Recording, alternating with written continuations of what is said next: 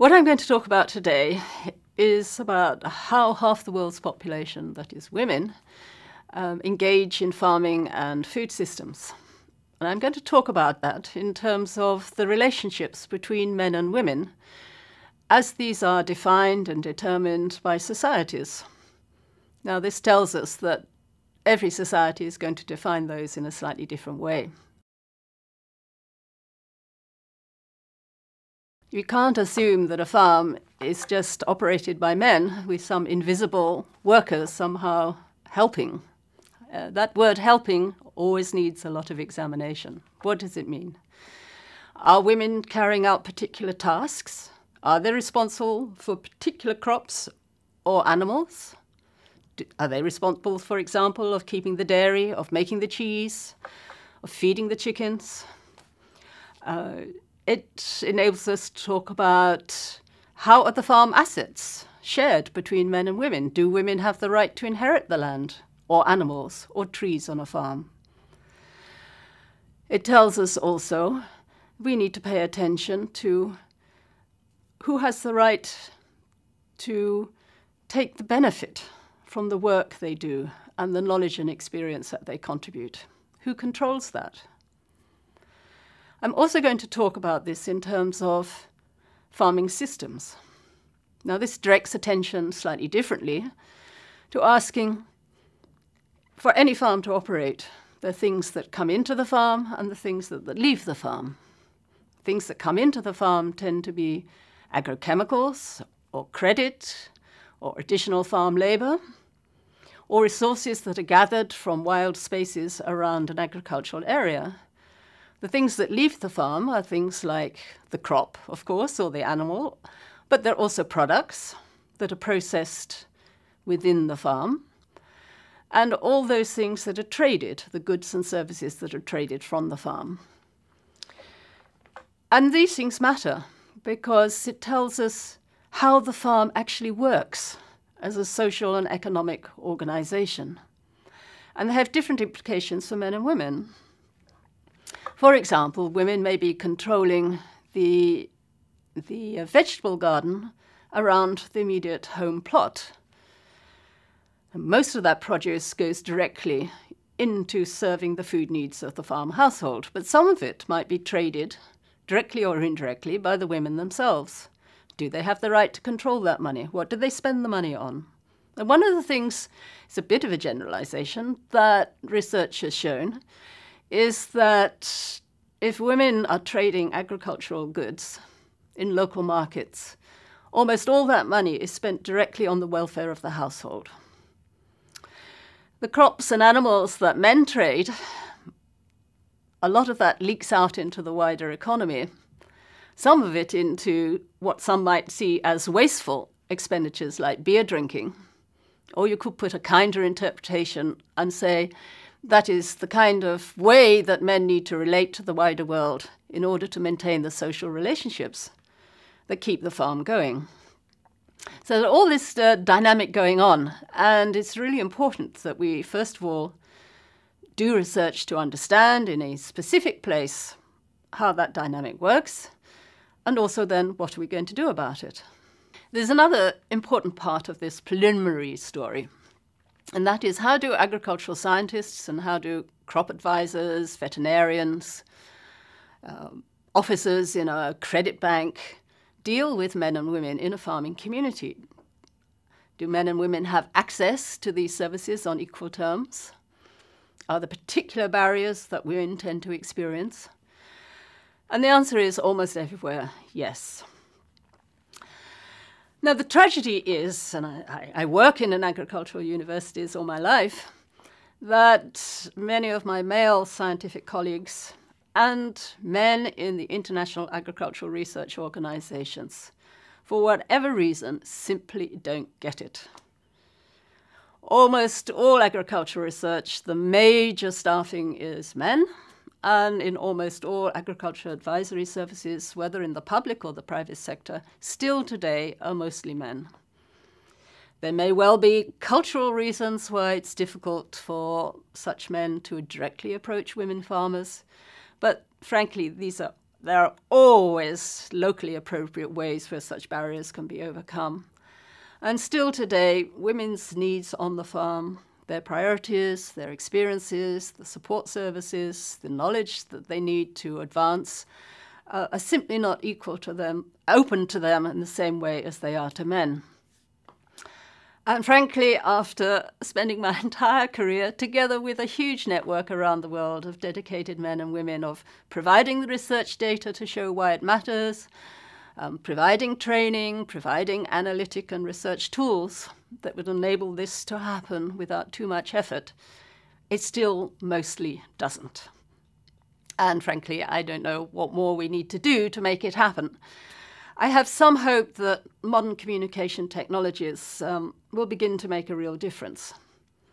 Because as women themselves pick up a mobile phone, they have access directly now to market information. They have access now also to sources of agricultural knowledge and expertise which can help them identify an insect pest that might have observed in their crop or something going wrong with one of their animals.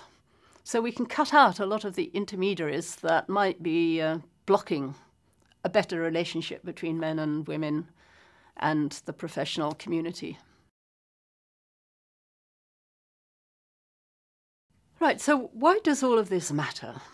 Well, you can say it's obviously of importance to women themselves, but I'd like to suggest to you that it's of importance to societies as a whole and our whole direction of future development. There are three main reasons. One is the relationship between gender issues and matters of equality, the relationship between gender and issues of poverty and how successful we are and could be in relieving poverty.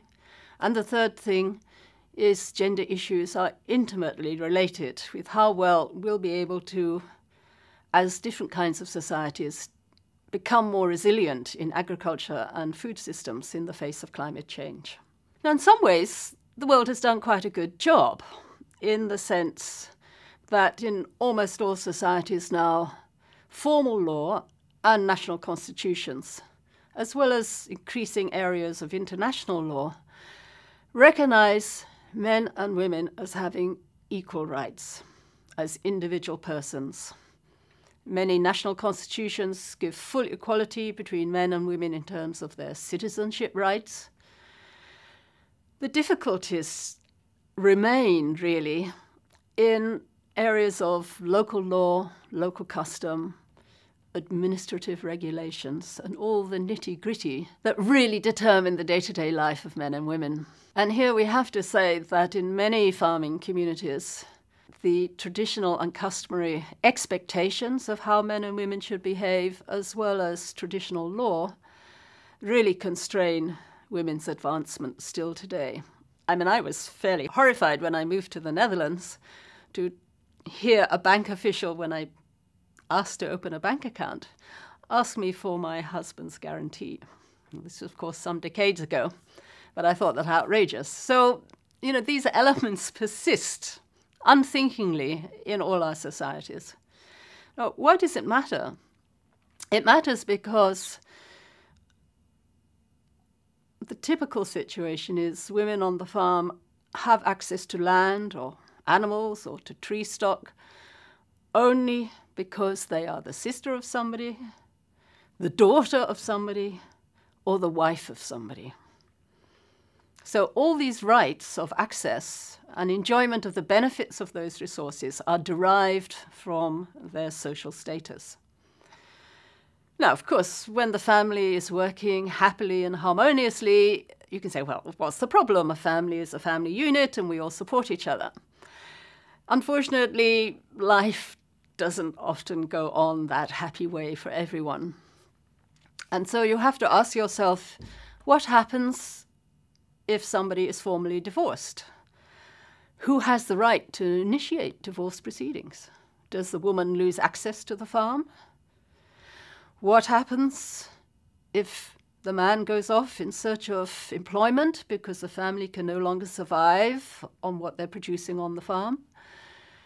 She's separated, sometimes for years at a time, What are her rights to continue farming, to sign contracts, to sell the produce, to use the produce, the income, look after the children?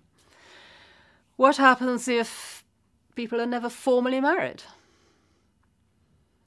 Does this help or hinder the woman in getting access to services, access to credit, access to a market? And one of the tragedies of unthinking development, unthinking application of economic theory, is the assumption that agricultural modernization has to, must inevitably take place on the basis of giving men, who are presumed to be the head of the household, formal title to farm land and farm assets. Now, I, I can see the logic of that, and I'm sure you'll be able to work it out for yourselves. The trouble is, at a stroke, women become more insecure. There's a huge row in Australia. It's not just a question of poor people in poor countries.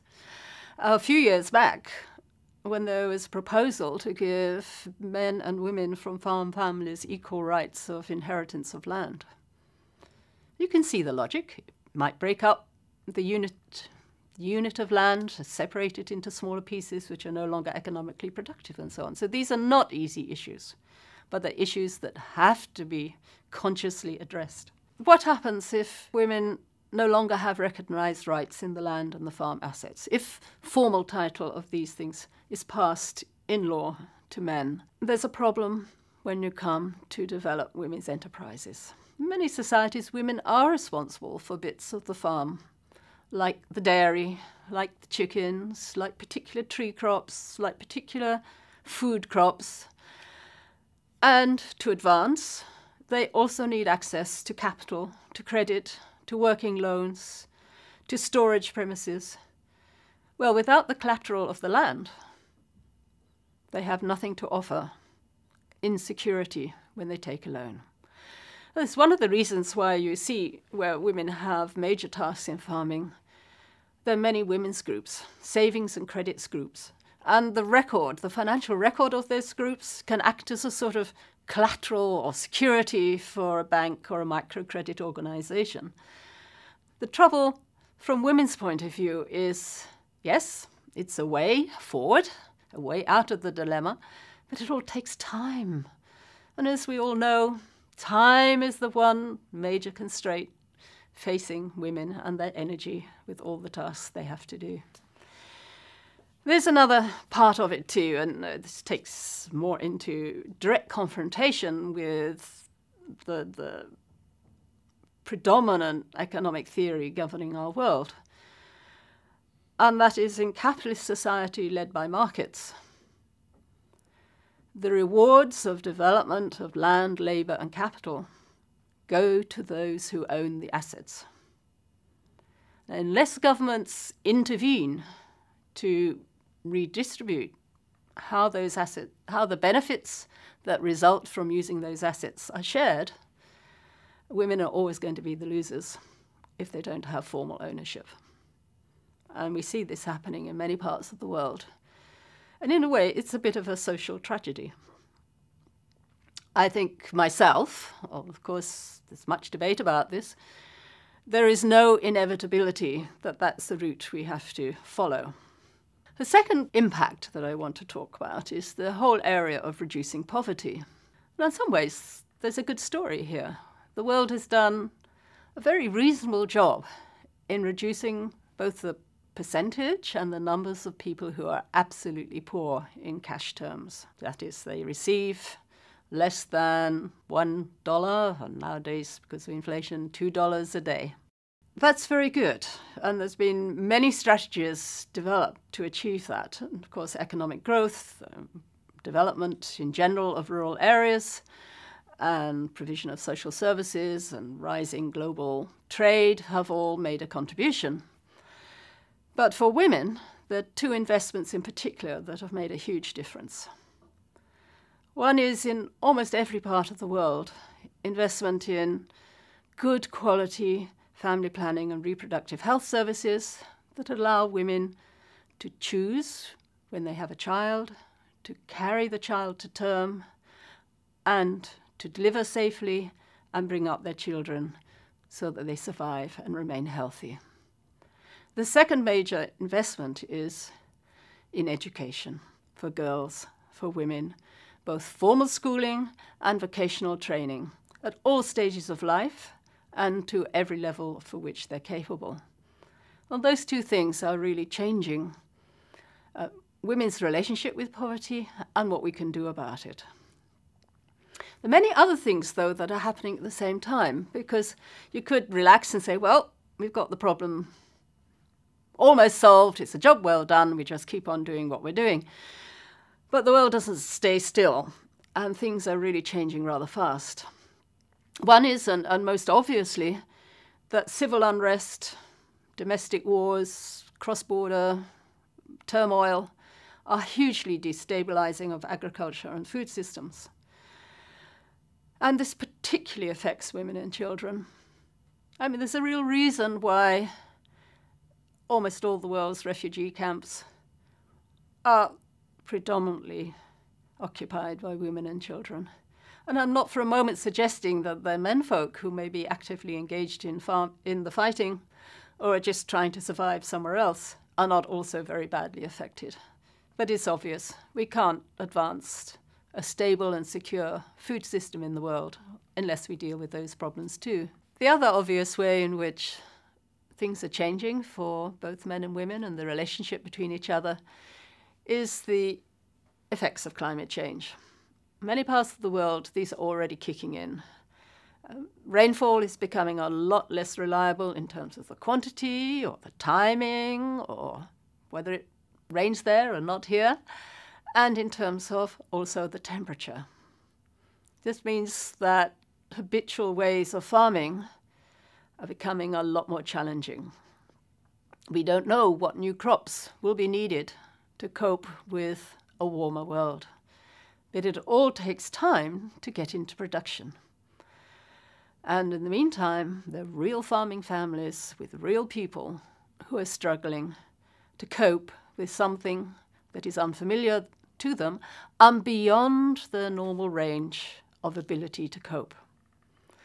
And we're just beginning to struggle with those issues on the ground and experiment with different ways of trying to help people cope. The other obvious way in which things are changing is what we think about what is a family is also changing very fast. And what we have is women who never married, who have children, women who never marry, who don't have children, women who are married without children, women who are divorced, separated, whatever. This means we have many different kinds of households. And people who are related to each other are really trying to find creative new ways to make sense of it all. In parts of Africa, it's really quite common to find what people themselves would regard as a family spread out over three or four different locations. So the children may spend their early years with Granny on the farm. They may go to the town for secondary education because rural schools are not good at the secondary level. They may spend a time of unemployment back on the farm. They might then go into the city, the big city, where the, the father has established a household in order to get his help with looking for employment. For people themselves, this is still counted as a family. The trouble is that our ways of delivering services, our ways of designing housing, cities, everything that makes up a social life, all our economic expectations, is running after the facts as these are being created on the ground. And this causes, of course, a lot of tensions and problems. There's another way in which men and women's relationship in food and farming are changing, and that's in our consumption patterns. Even in poor rural economies, it's very rare these days to find a household that does not spend at least some cash on purchasing food. Particular times of the year, for particular reasons, particular kinds of products. In the cities, of course, we're almost entirely dependent on finding cash to purchase food. No cash, no food. This is devastating for women who are unemployed and for whom there are no safety nets. It's really not that surprising that in every major city around the world we see the equivalent of food banks. Installed originally as an emergency measure, now becoming a permanent safety net um, that is particularly valuable for women and their children. And we have to think about the implications of that as we go into the future.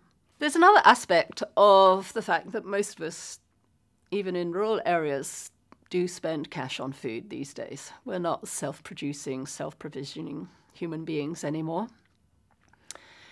And that is that we notice there's enormous concentration of control in the commercial food supply chain, from the, the supply of agrochemicals to producers, through those who control commodity trade, the bulk products, rice, rice wheat, soybean, around the world, into the food retailers and the food processors. And we have to ask the question from men and women's point of view does this lead to a more food secure world? And if it doesn't, what could we do about it? This is an important sort of issue because one thing that has changed in my lifetime is although we've achieved some successes, important successes, in reducing the numbers of people who go to bed hungry. We haven't solved the hunger problem, and this is because we still seem reluctant to deal with issues of how do we allocate the food that's available. The other side of the hunger coin is there are now more people who are overweight and obese in the world than there are who are dying from malnutrition and hunger. It's absurd.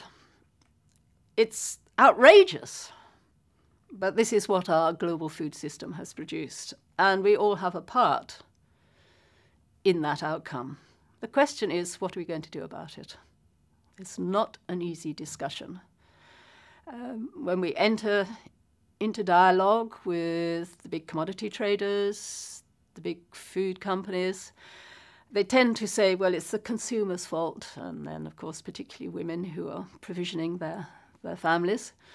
Um, they demand we simply supply, and very reluctant to do take major steps to take what seems to be the necessary action um, to help us all eat more healthily and still at a reasonable price that most people can afford.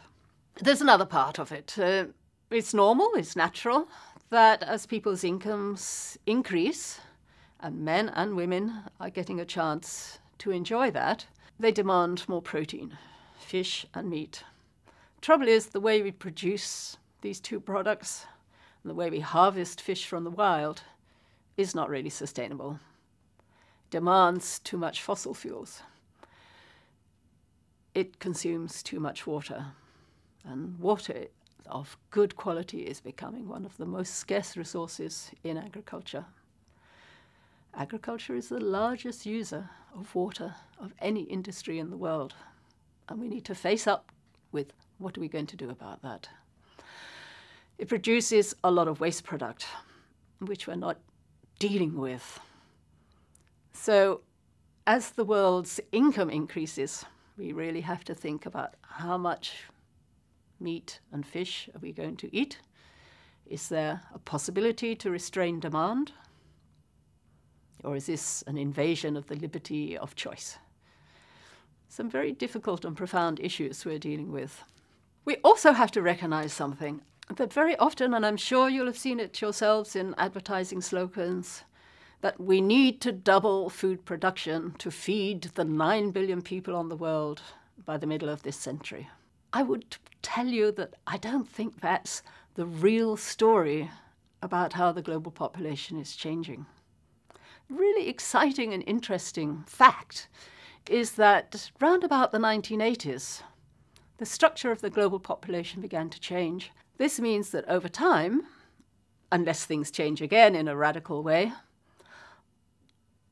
two things. One, the numbers will increase for a time because we're starting from such a large base, but populations will begin to shrink this century. And in some parts of the world, including Italy, including China, this is already starting to happen as older populations in the natural course of things die off and very few children are being born. We really haven't thought enough about what are the implications for what kind of food do we need? If we've got a much older global population, what kind of food needs are they going to have?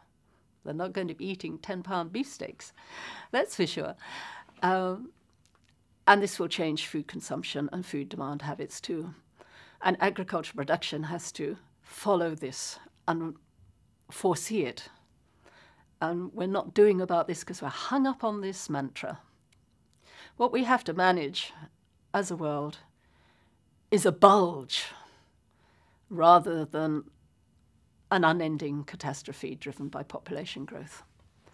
We've really based our successes in agricultural modernization over the last 40 or 50 years on helping farmers, both men and women, move towards monocrop farming. You have a single crop in a single plot that's grown to best agronomic standards and protected with a whole range of agrochemicals and fed with fertilizer. For many women farmers, this has proved a really discouraging strategy.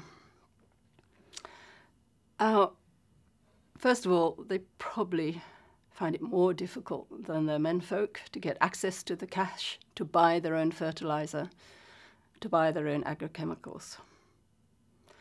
The other thing is those agrochemicals are really uh, toxic, not just for the insects and the diseases they're trying to control, but for people's health. And it's easy for the industry to say, well, pe it's people who, it's our fault. Farmers are misusing or abusing how they use those chemicals. We have to ask ourselves, first of all, what are the consequences? And what is the product liability of the chemical companies? But also, if there aren't other options. We also have to realize that, oh, goodness me, we waste a lot of food. Now, it doesn't matter whether you're looking at a small scale farming society or whether you look at London, New York, any other place in the world. Roughly speaking, we can say we lose about a third of all food we produce all the time, every year, and we need to do something differently about that. And there's a role here for women too. What can we achieve through recycling? Technically, what can we achieve through better management? How can commercial services and governments help women to manage food waste? Make less of it, use it better, and we'll see how far we can get with that in the next few decades. I've talked about a lot of things, and perhaps in some cases in a rather superficial way because there's a lot to talk about and learn. I've put a lot of information that will help you follow up on the website. And I hope you enjoy working your way through it.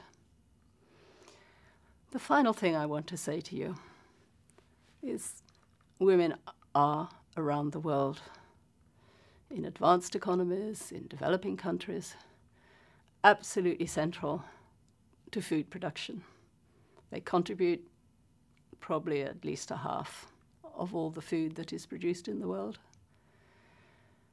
And they are the ones who are managing the food that appears on your plate tonight. How well we look after their concerns and their needs matters to everyone. It really does.